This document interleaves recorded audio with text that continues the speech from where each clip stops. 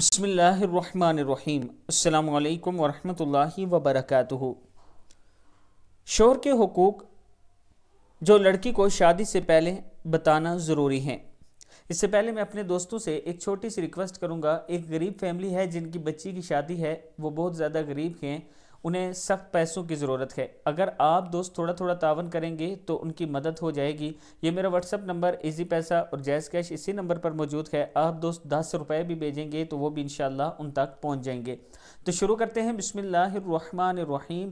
ایک عورت رسول اللہ صلی اللہ علیہ وآلہ وسلم کی خدمت میں حاضر ہوئی اور عرض کی، یا رسول اللہ میں غیر شادی شدہ ہوں، اب شادی کرنا چاہتی ہوں، مجھے شوہر کے حقوق بتلا دیجیے۔ آپ صلی اللہ علیہ وآلہ وسلم نے ارشاد فرمایا کہ شوہر کے بہت سے حقوق ہیں۔ اس کا ایک حق تو یہ ہے، اگر وہ اونٹ پر سوار ہو اور صحبت کرنا چاہے تو تم انکار نہ کرو۔ مطلب یہ کہ جس وقت بھی اور جس حال میں بھی وہ اس کی خواہش کرے، تم انکار نہ کرو۔ ایک حق یہ ہے کہ شور کے گھر کی کوئی چیز اس کی اجازت کے بغیر نہ دو۔ اگر دو گی تو خود خود تو گنہگار ہوگی، لیکن شور کو ثواب ملے گا۔ ایک حق یہ ہے کہ نفلی روزے اس کی اجازت کے بغیر نہ رکھو۔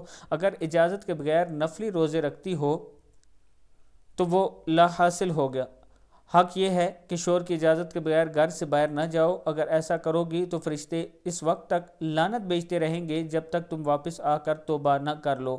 یہ وہ حقوق ہیں جو ہمیں اپنی بچیوں کو سمجھانے چاہیے اور انہیں بتانے چاہیے کہ شوہر کے یہ حقوق ہیں۔ اور اسی طرح شوہر کے بیوی پر کیا حق ہے وہ بھی رسول اللہ صلی اللہ علیہ وآلہ وسلم نے بیان فرمائے ہیں۔ انشاءاللہ میں اس پر بھی ویڈیو اپلوڈ کر دوں گا۔ ہمیں اپنے بچوں کو وہ حقوق بھی بتانے چاہیے کہ آپ کے بیوی کے آپ پر کیا حق ہے۔ السلام علیکم ورحمۃ اللہ وبرکاتہ۔